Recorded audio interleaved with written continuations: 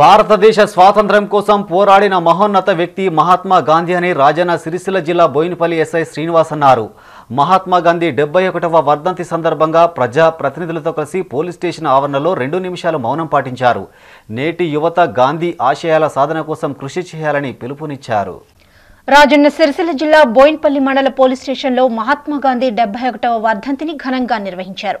Police station ఆవరణలో పలువురు ప్రజా ప్రతినిధులతో కలిసి పోలీస్ సిబ్బంది రెండు నిమిషాలు మౌనం పాటించారు. అనంతరం ఎస్ఐ శ్రీనివాస్ మీడియాతో మాట్లాడారు. దేశ ప్రజల గుండెల్లో చిరస్థాయిగా నిలిచిన మహోన్నత వ్యక్తి మహాత్మా గాంధీ అని తెలిపారు.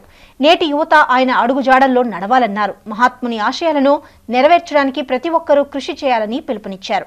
ఈ కార్యక్రమంలో పోలీస్ సిబ్బంది సంబారెడ్డి సత్యనారాయణ పలువురు ప్రజా ప్రతినిధులు తదితరులు పాల్గొన్నారు.